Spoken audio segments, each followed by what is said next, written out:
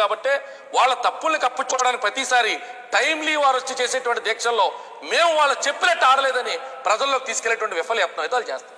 మొత్తం మీద ఆంధ్రప్రదేశ్ ప్రజలు ఎటువంటి మార్పు కోసం ఎదురు చూస్తున్నారు? నిజంగా అలాంటి మార్పు రాబోతుందా?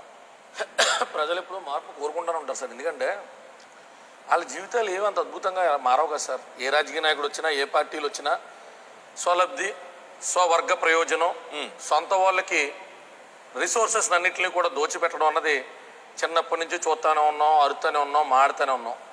కాకపోతే సామాన్య ప్రజానికానికి అంటే దిగువ మధ్యతరగతి వాళ్ళకి ఉండేటువంటి ఆ ఆశల వలయాన్ని క్యాష్ చేసుకుంటూ మా దరిద్రం ఏంటంటే మా చిన్నప్పటి నుంచి ఎమ్మెల్సీ ఎలక్షన్కి వెండి గ్లాసులు పంచిపెట్టడం చూసాం సార్.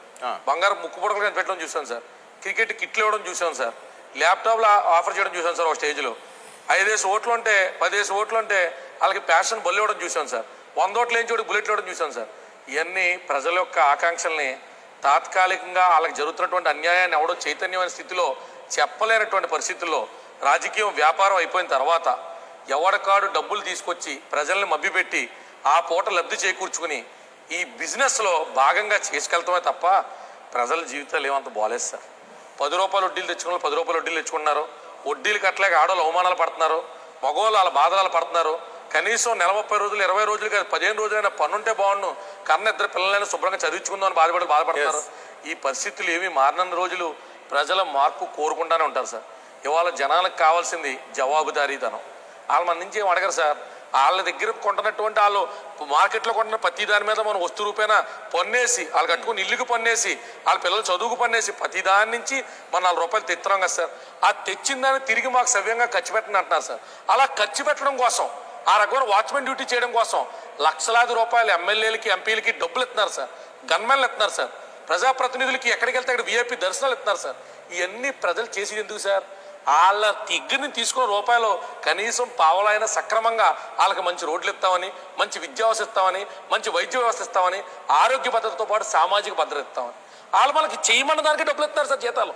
అవి మానేసి మనం ఈ పొలిటికల్ స్టంట్ లేస్తా నల్ల చొక్కాలు నల్ల బుడగలు ఎవరి కోసం చేస్తున్నాం సార్? ప్రజల కోసం చేస్తున్నావా? మరి ఈ రోజు లక్ష గృహాలు కాదు నాలుగు లక్షల గృహాలు అందజేశారు దాదాపు చాలా మందికి. లబ్ధిదారులకి పసుపు కుంకుమ అంటున్నారు పెన్షన్స్ అంటున్నారు మధ్యంతర వృత్తి అంటున్నారు రైతులకి సుమారు నలభై లక్షల మంది పైచులుక్కి కనీసం ఉండడానికి జాగా లేనటువంటి మన రాష్ట్రంలో అసలు దిగువ మధ్య తరగతి రేఖలో ఇరవై ఆరు నుంచి ముప్పై శాతం మంది ఉన్నటువంటి మన రాష్ట్రంలో వీళ్ళు ఇచ్చిన లచ్చ కొంపలనో పదివేల కొంపలనో అందులో జరిగిన స్కాములు ఎన్ని స్కీములు ఎన్ని కాంట్రాక్టర్లు తిన్న సొమ్ములు ఎన్ని వీళ్ళ పంచాయత్ వీళ్ళ లోకల్ ప్రెసిడెంట్లకి వీళ్ళ లోకల్ మున్సిపల్ కమిషనర్లకి మున్సిపల్ చైర్పర్సన్లకి వీళ్ళ పార్టీ వాళ్ళకి చదివించిన ముడుపులు ఎన్ని ఎవరిని మబ్బి పెడతారు సార్? భారీ భవంతులో చోట ఓ పాతికో యాభై లేపి చంద్రన్న మా కళ సాకారం చేయించాడని నలుగురు ఐదుగురు పాపం నిరాశ నిస్పృహున్నటువంటి వ్యక్తులుగా వెళ్ళిచ్చి వాళ్ళ బయటలు తీసుకుని అడ్వర్టైజ్మెంట్ కొట్టించేస్తే ఈయన మొత్తం పవర్టీని ఎలిమినేట్ చేసినట్ట sir?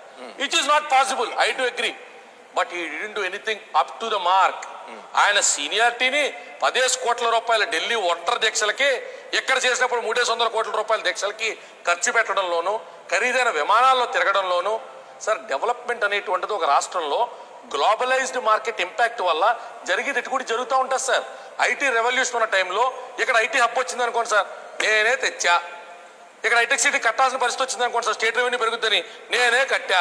మీరు కట్టిన మాట వాస్తవే ఆ పక్కన పదేసి వేల ఎకరాలు కూడా మీకు సంబంధించినటువంటి వర్గీయులకి ఏడేసి రూపాయలకి ఏడు వందల రూపాయలకి ఏడేళ్ళ రూపాయలకి మీరు కొన్న స్కామ్ల గురించి మాట్లాడుకోవాలి. Let us not get diverted from the topic నేను ఏం చెప్పదలుచుకున్నానంటే ప్రజలకు ఖచ్చితంగా మార్పు కోరుకుంటున్నారు సార్. ఇవాళ వీళ్ళు పట్టుకెళ్ళి డబ్బిచ్చినా మీరు చూస్తారు. ఎలక్షన్ రిజల్ట్ రోజు మళ్ళీ కూర్చొని మాడుకుంటాం ఏళ్ళు డబ్బిచ్చినా డబ్బులు తీసుకుని వాళ్ళు ఇయ్యాలనుకున్న వాళ్ళకి ఓట్లేసి చూపెడతారు. జనసేన ప్రభంజనం ఎలక్షన్లో మీరు చూస్తారు.